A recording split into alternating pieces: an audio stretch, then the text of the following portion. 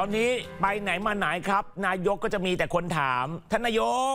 ดิจิตอลวอลเล็ตหนึ่งหมื่นบาท เมื่อไหร่จะได้กันแน่ โดนทวงตังค์อะ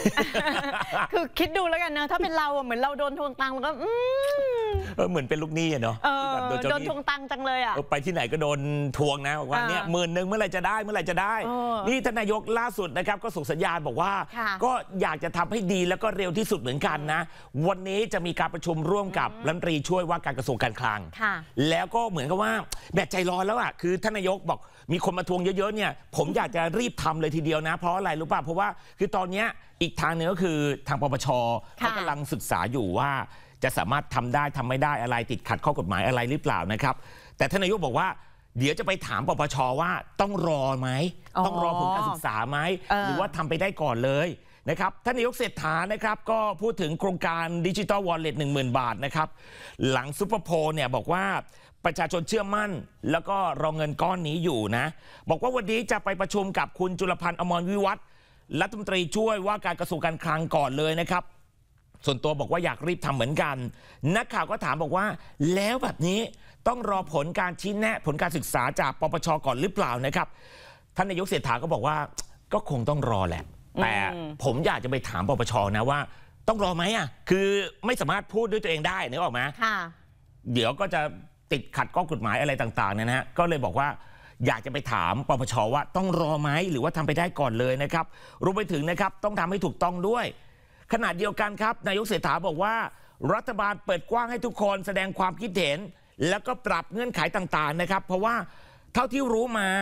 ประชาชนคอยอยู่นะ อย่างตอนที่ลงพื้นที่ไปตามที่ต่างๆเนี่ยก็ได้ยินประชาชนพูดถึงดิจิ t a ลวอลเล็ตอยู่ตลอดเวลา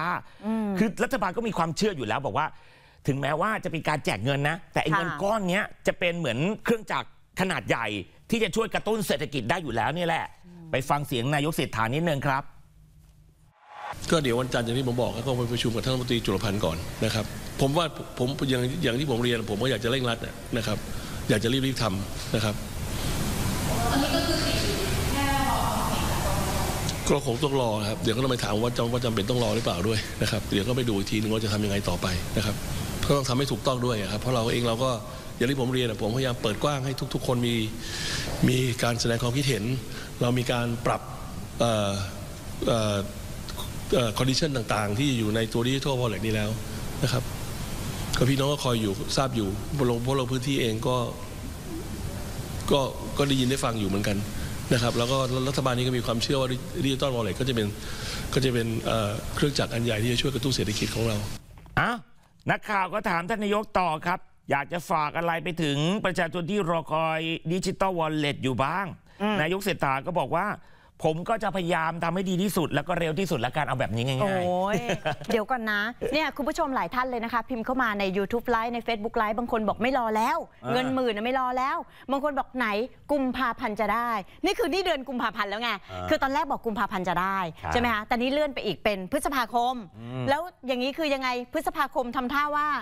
จะไม่ได้หรือเปล่า ๆ ก็คือท่านนายกครั้งเนี้ย ไม่ได้ค่ะตอบเป็นเงื่อนเวลาละเออไม่ได้เพราะไม่ตอบกล้าพูดแล้วไม่กล้าพูดแล้วใช่พูดไปเดี๋ยวมัดตัวเองไง ก็บอกว่าอืมอ้าวก็จะพยายามทำให้ดีที่สุดแล้วก็เร็วที่สุดละกันอ่าแต่เร็วที่สุดของท่านนายกเนี่ยก็ไม่รู้ว่าจะเกิดขึ้นเมื่อไหร่ จะแจกเมื่อไหร่ก็ยังไม่รู้นะ ค่ะ แล้วบางคนเขาบอกว่าโอ้โหตอนนี้ลองไปเซิร์ชดูสิ มีแต่คำว่าเงิน 1 0,000 บาทเข้าวันไหนเงินหมื่นหมื่นบาทได้เมื่อไหร่ ได้ไหมอย่างเงี้ย บางคนนี่เลิกหวังแล้วนะ บอกไม่หวังแล้วเงินหมื่นอืมทำใจค่ะ